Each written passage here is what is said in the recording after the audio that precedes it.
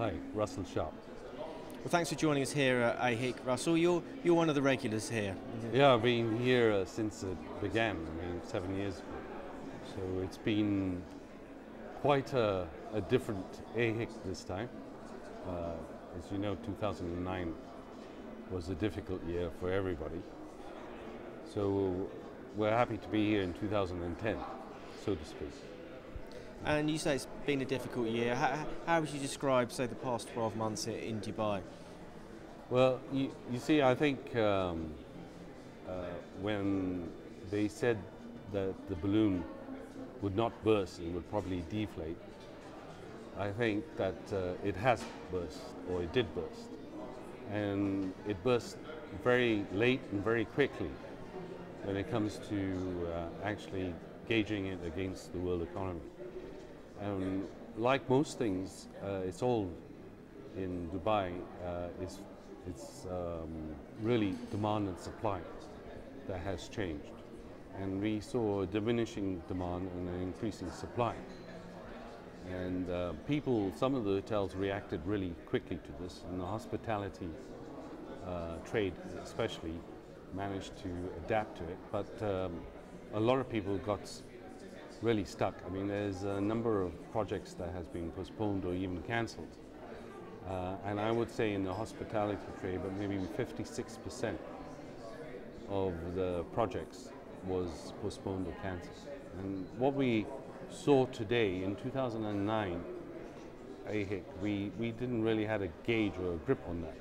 But now we're getting a handle on it. We're, we're suddenly realizing that it's only the strong that will survive the beach properties are doing really well, but if you're not on the beach, then you're, you're struggling in some of the areas.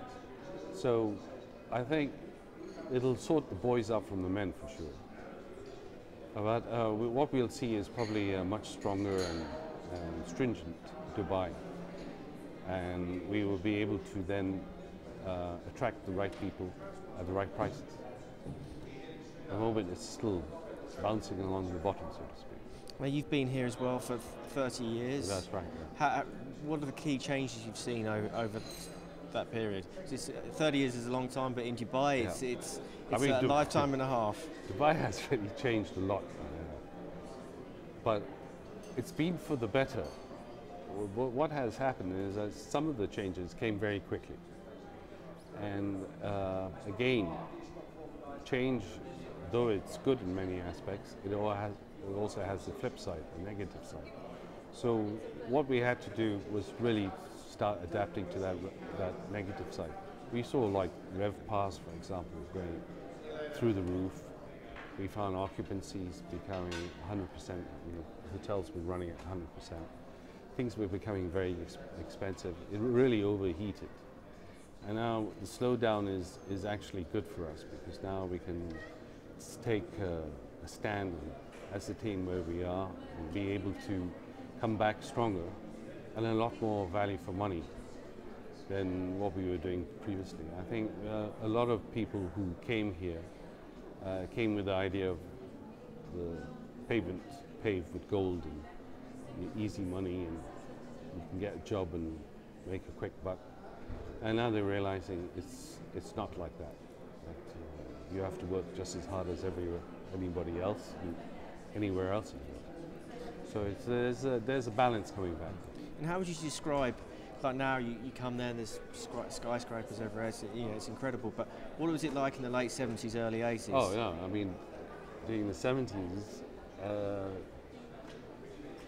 it was um, a, a, little town.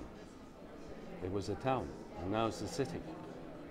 And normally what would have taken 100 years to build, they built in 10 years. So it really has uh, progressed on a fast track. What you, what you see here now today is something that um, you don't see anywhere else in the Middle East. I don't think any other city has grown as quickly and an infrastructure as superior as this has been able to be done in such a short space of time.